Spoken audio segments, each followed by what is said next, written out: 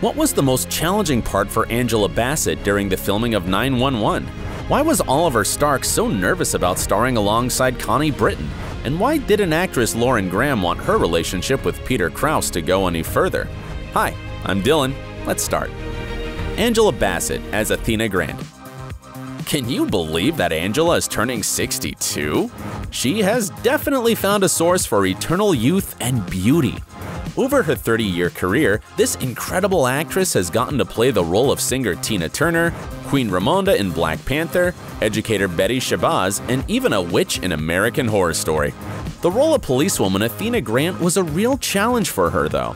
Bassett has always been careful about the roles she chooses and prefers strong and smart characters. She tries to stay away from the standard roles that are offered to African American actors. She's turned down roles which she viewed as demeaning to her image. I'm a black woman from America. My people were slaves in America, so it becomes a bigger thing than me just becoming a movie star and me just being on TV, Angela stated. Bassett, who's also an executive producer of the show, wanted to break down the stereotypes about such TV shows. Okay, you're running, you're pulling your gun, you're tough. These cop stereotypes, laughed Bassett. Before taking on the role, Angela met with the woman who's been a lieutenant with the LA police force for about 28 years. She was the one who inspired certain character traits and behavior patterns that became the base for Athena's character. The demanding role definitely requires a lot of effort and energy, However, the actress gave a funny answer when asked what the most challenging thing during the shooting was. Most challenging? Those polyester uniforms that don't stretch or give. That's a challenge. As for the actress's love life, she's been married to actor Courtney B. Vance for more than 20 years now. The two lovebirds met at drama school back in the 80s. Can you believe that back then, Courtney paid no attention to Angela? He had a beautiful, beautiful girlfriend at the time who was also in drama school with us, Bassett told People magazine. So maybe about 14 years later, our paths crossed here in Los Angeles. The couple is raising 14 year old twins, son Slater Josiah Vance and daughter Bronwyn Golden Vance, who were born via a surrogate. Oliver Stark as Evan Buckley. Despite his perfect on screen American accent, actor Stark is actually English. Before becoming an actor, Oliver had tried plenty of different jobs, including being a door to door salesman, cleaner, computer game salesman, call center operator, and nightclub promoter. Despite the fact that he started his acting career in London, it was American projects that brought him real fame. However, these projects might not have happened if it wasn't for love. For about a year, Stark was following actress Hannah Gottesman on Instagram, but was too shy to message her and only liked her pictures. And then eventually she followed me back. But I still didn't want to message her because I was like, there's no way for a guy to message a girl on social media without sounding creepy. Eventually, she sent me a message and said, Are you going to like my photos or are you going to say hello? The actor revealed. They started messaging and FaceTiming each other, and after a while, Oliver bought a ticket to LA, where Hannah lived. I lied to my parents and told them I had met her before, he recalls. They met at the airport and never parted again. I came here for about three weeks and then never went home, the actor revealed. In LA, Oliver landed his first big role in a TV show called Into the Badlands, but the role of Buck in 911 was a real breakthrough for him. Oliver revealed he was very nervous about acting alongside Connie Britton, who portrayed his love interest, as he was just a beginner. I was actually a little nervous for it, he said. Like, it's Connie Britton. What if I'm rubbish and she's like, What are you doing?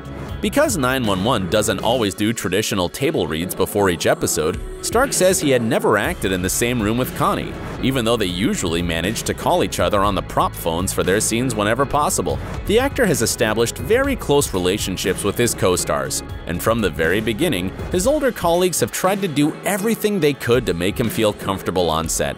Pete Krause has become a bit of a mentor to me, Stark says. If there's anything that I'm struggling with right away, I'll go to him and I'll ask him questions. We formed a really great relationship. The same with Connie and Angela. They're so welcoming. Judging by the cute pictures of them on Instagram, these guys really have a great time together. Aisha Hinds as Henrietta Wilson.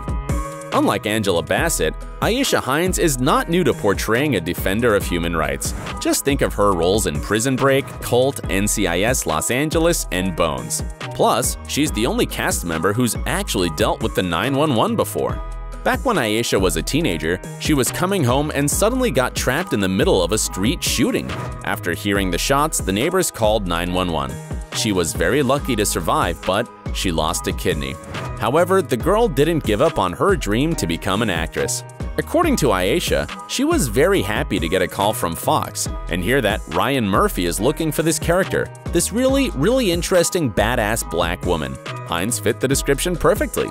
Hen's character clicked with the audience, especially with the female firefighters, who feel incredibly happy that they are being reflected and represented.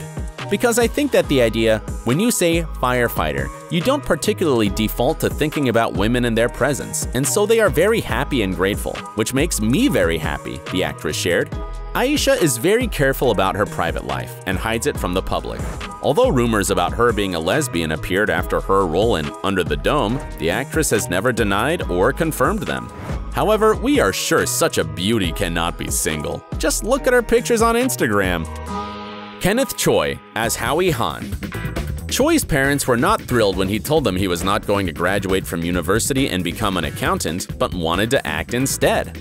I came from a very traditional Asian upbringing, so they were very strict, he told the New American Media. When I decided to pursue acting, I knew that I had to do it all on my own. When I left the Midwest, I cut all ties with my family. I basically ran away from home.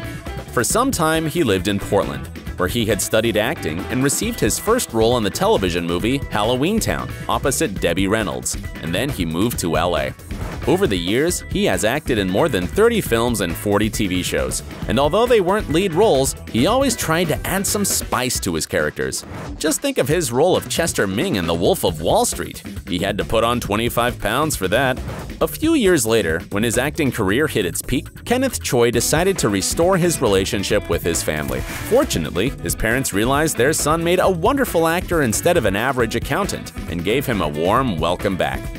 My dad does watch my work now. My parents watch everything I'm on. I think the first time they saw something was Captain America, and he called me, and he was so elated, the actor shared.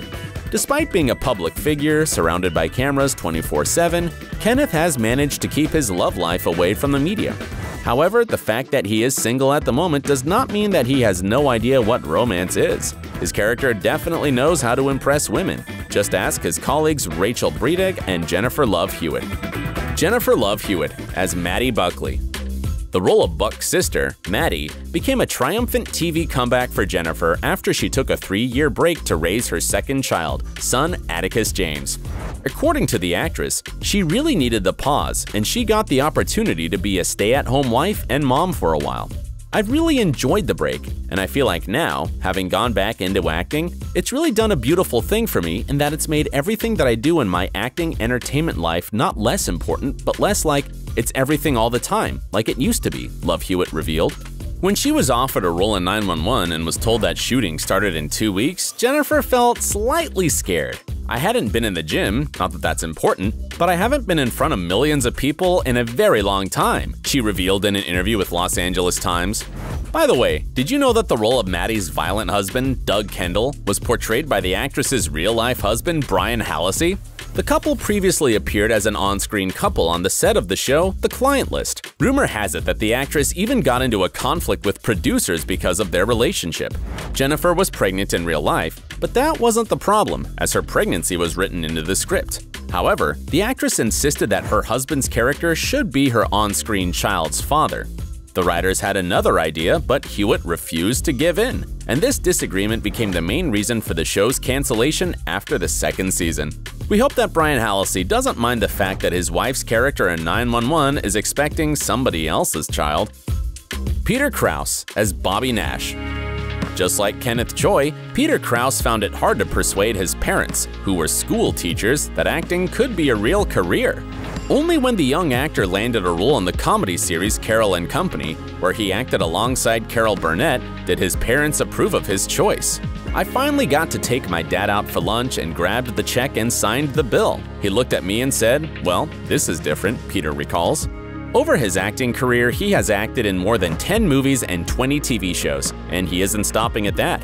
I don't plan on retiring. I'll do this as long as I can. I still enjoy acting as much as I ever did. Right now on 911, I get to be a firefighter, which is basically my childhood dream come true, he shared in an interview with Reuters.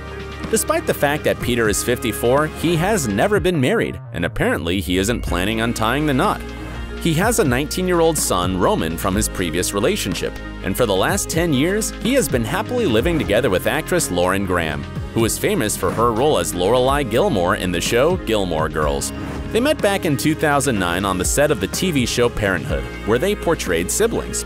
Peter kept showing signs of interest, but Lauren would just ignore them. A few years before that, she decided to never trust handsome actors. However, their relationship soon became something more than just being friends and colleagues. Lauren says they are very happy together, and their way of living now is like they're already married. Judging by their rare pictures together, they are very content. Who's your favorite actor from 911? Tell us in the comments and subscribe to our channel. And as always, stay safe and stay awesome.